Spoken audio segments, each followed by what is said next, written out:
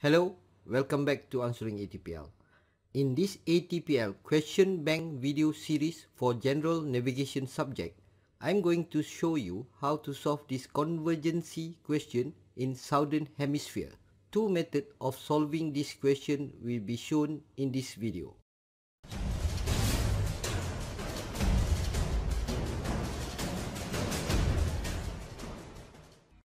The focus of this channel is to provide explanation for EASA ATPL examination and other aviation related stuff.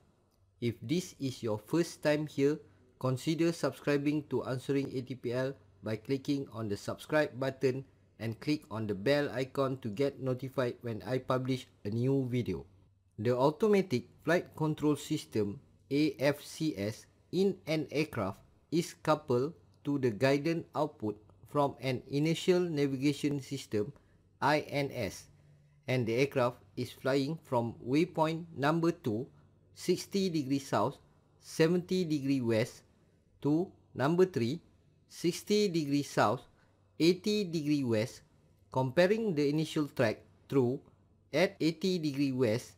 The difference between them is that the initial track is approximately the optional answer are A. 5 degree greater than the final one. B. 9 degree less than the final one. C. 9 degree greater than the final one. And D. 5 degree less than the final one.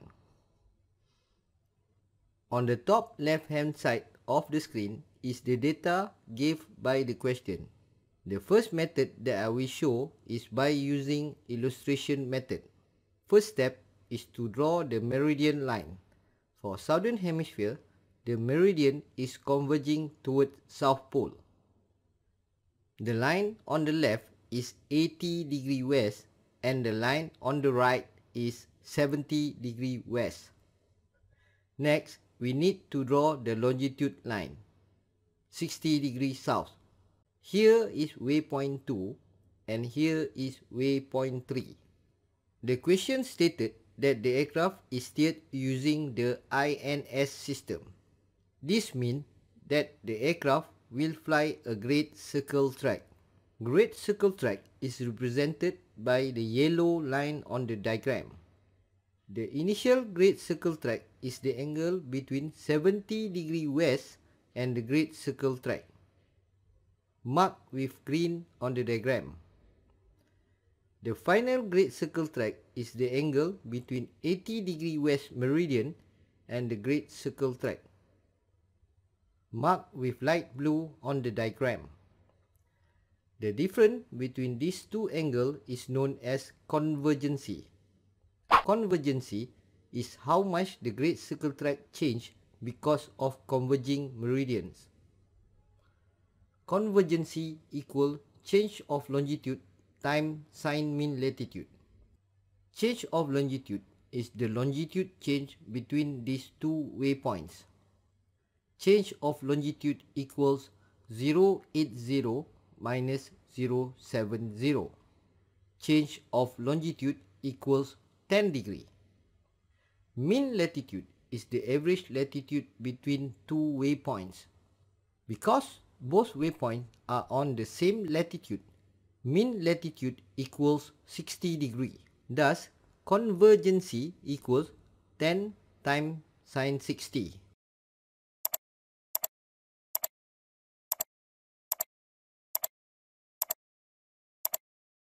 Convergency equals 8.7. We can say that initial great circle track is 8.7 degree less than final great circle track or final great circle track is 8.7 degree more than initial great circle track. Quick method. Now I'm going to show you the second method to solve this question and it is quicker compared to the first method. Here is the data gave by the question. We will use DIID diagram for the second method. The top half of the diagram refers to the northern hemisphere and the bottom half of the diagram refers to the southern hemisphere. By looking at the data given by the question, the waypoints are in the southern hemisphere. Because of this, we do not need the top half of the diagram. By looking at the longitude of the waypoint, we know that 70 degree west is on the right and 80 degree west is on the left. Thus, the direction of travel is from right to left. D in the diagram means decrease and I in the diagram means increase. Now we know that the great circle track is increasing when we travel from waypoint 2 to waypoint 3. To get the amount, we need to use convergency formula as I had shown in the first method. The answer is B. What do you think of this video? Please let me know in the comment section below. And if you find the video beneficial, please like it and share with others. By doing so, you will help other people to find the video. If you want to learn more about ATPL or other aviation related stuff, subscribe now by clicking the round subscribe icon. Please check out my other video by clicking on the rectangular box. Thank you so much for watching. I'll see you next time.